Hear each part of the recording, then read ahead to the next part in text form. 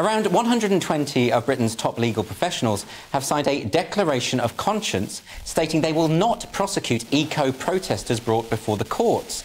The lawyers have also said they will not act on behalf of clients involved in oil and gas production. Critics say they are ignoring the cab rank principle, whereby, whereby lawyers must take on any case that they are available for. So, joining me now to discuss this is family law barrister Sarah Phillimore. Welcome to the show, Sarah. Thank you. So, why shouldn't barristers pick and choose which jobs they take? Because it's a fundamental cornerstone of our ethical obligations that we don't discriminate against people on the basis that we don't like them, we think they're a bit unpleasant, or we don't agree with the cause because we don't deny legal representation to people. You can see just immediately how dangerous that would be.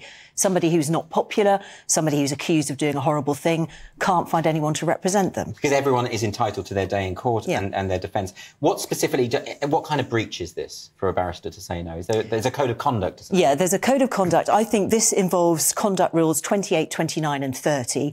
Rule 28 says you can't discriminate against somebody because you or other people, interestingly, find them repulsive. And Rule 29 is the cab rank rule. If you have got the right competence, if you've got available time, and if you're being paid enough money, you must take on a case. Now, I, I do quite agree, bizarrely, with Mr. Morton when he says that the cab rank rule isn't really the issue here, because, of course, the rich fossil fuel companies are going to be able to find representation of their choice. That's about having the financial freedom. But where it is hugely important is for lawyers like me, who are legally aided. I do family work. The criminal bar, I think, have rightly been very angered by this because it's not merely saying barristers can pick and choose who they represent. It's saying barristers are then identified with who they represent. Right. And we can't possibly represent these people. They're so awful. So let's clarify that. You mentioned Maugham. You mentioned Jolyon Maugham. Jolyon Yeah. Maugham is, is one of the major signatories of this uh, declaration. Uh, we actually do have a statement um, from Jolyon Maugham. This was what he said. He said the cab rank rule is bound up inseparably with the idea that the law is right and its ends are worth upholding, but the law is not always right. Sometimes the law is ugly. Sometimes it is wrong. We should not be forced to work for the law's wrongful ends by helping deliver new fossil fuel projects. We should not be forced to prosecute our brave friends who, whose conduct, protesting against the destruction of the planet, the law wrongly criminalises. Now, Sarah, so what's wrong with uh, Johnny Maugham's perspective there? He's absolutely right that the law is not always wonderful. There are sometimes very wicked laws, and there's a moral obligation on all of us to think is this the kind of law that I have to instantly disobey because it's so abhorrent? Or is this the kind of law I will campaign to change while obeying it? I would venture to suggest that in a secular Western democracy, you're not going to find many of the first um, there may well be a lot of the second. And I think what um, Maugham and the others are doing are relying on the example of David Perry um, KC. He got a lot of flack in 2021 for saying he was going to represent the Chinese government who were prosecuting pro-democracy protesters. Now that arguably you could say, well, you can't not represent the Chinese government just because people don't like them. That's discrimination.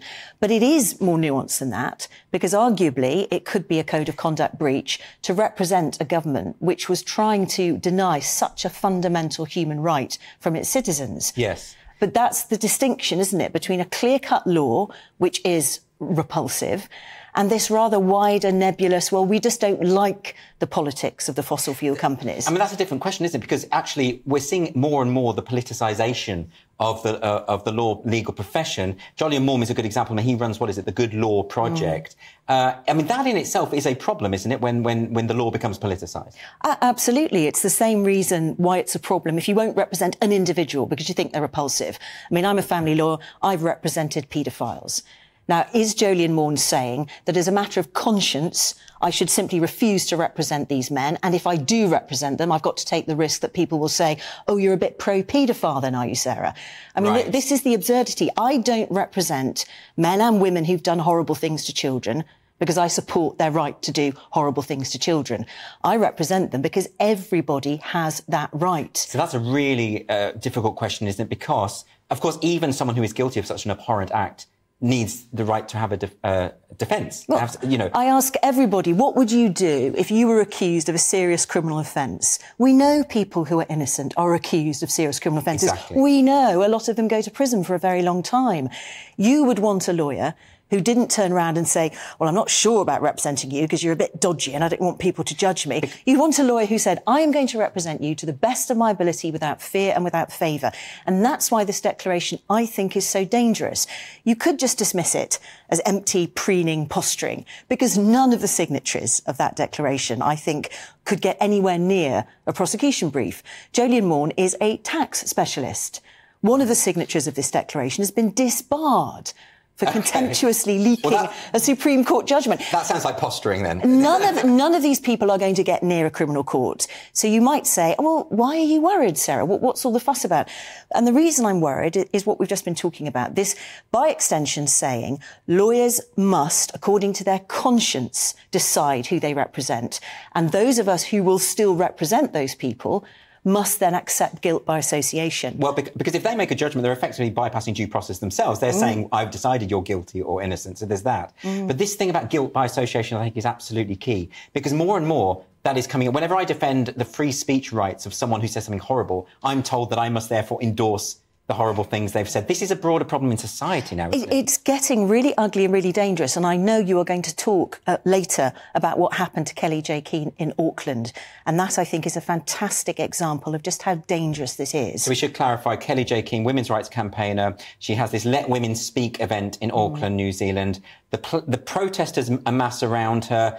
We can see some images there. It's absolutely terrifying. There are no police. Mm. Uh, and it's almost as though the police have absented themselves uh, from the situation. They've left this woman in this very vulnerable position. It's lucky that someone wasn't killed or seriously injured, you know? It's, it's very lucky. I've seen the footage of an, uh, I understand, a 70 year old woman being punched repeatedly in the face. And you've told me you can't show that footage before the watershed because it's too disturbing. Correct.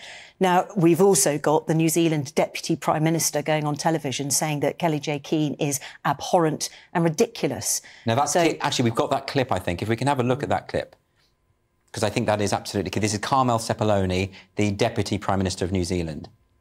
In my mind, that woman and her views are abhorrent and actually, in some ways, quite ridiculous. Uh, but I guess my personal approach is just to go like this. Deputy Prime Minister of New Zealand, what do we do when, when major political figures are making those kinds of judgments about people who want a conversation and have a different viewpoint? That is the politicization of well i know yeah. it's politics but it's it means that it has an impact on whether the law is correctly enforced well it? you see what happened i think Kellie-Jay Keen was lucky to escape with her life or at least without being seriously hurt we've seen today um, at reformers tree in hyde park a group of um, women who believe sex is real it matters effectively kettled by the by protesters mm. and the police walking away because this is what the problem with Jolyon Maugham and his declaration is. He's a tentacle on this octopus, which is saying, if you don't toe the line and believe what we believe, then you are a non-person.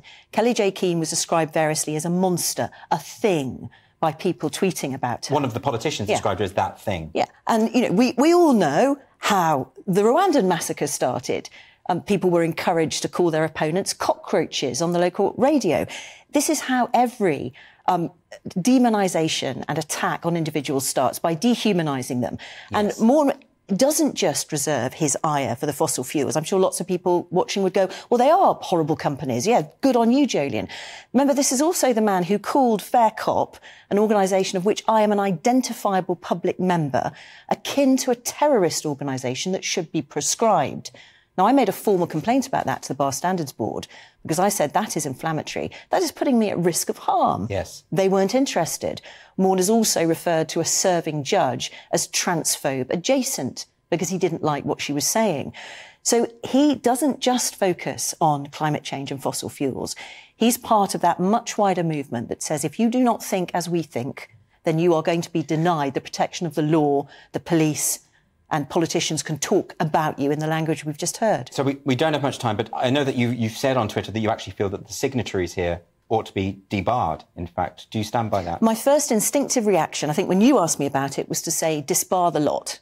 And I thought about it and I reflected. I thought, was that too harsh? No.